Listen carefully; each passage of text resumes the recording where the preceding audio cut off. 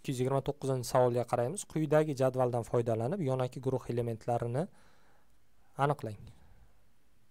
Nima degan? Yonaki guruh elementlarini aniqlang. Ha yonaki guruh degani e, d elementlarini aniqlang demoqchi. Ya'ni s va p bo'lmasin qaysi biri d elementlari? Shuni nazarda tutyapti elektronlar emas elektronlar bu xato ketib qolgan. Ikkita elektron yo'qotganda yigirma to'rtta elektron bo'lib qolgan bo'lsa ikkita elektron yo'qotmasdan oldin elektronlari yigirma oltita bo'lgan. Demak protonlar ham yigirma oltita bo'lgan element bu temir.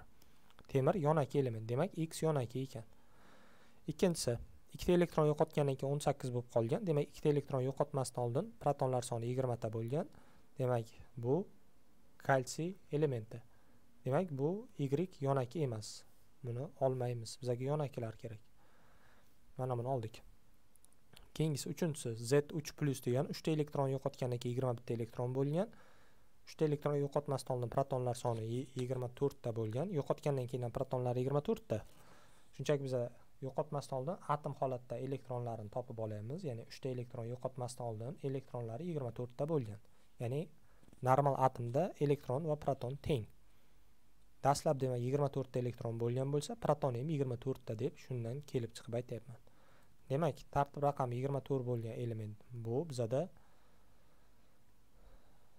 xromga to'g'ri kelar ekan xrom ekan. Demak z modda xrom bu ham yonaki guruh d element bo'lgani uchun buni ham olamiz. Demak javob x va z ya'ni b javob bo'ladi.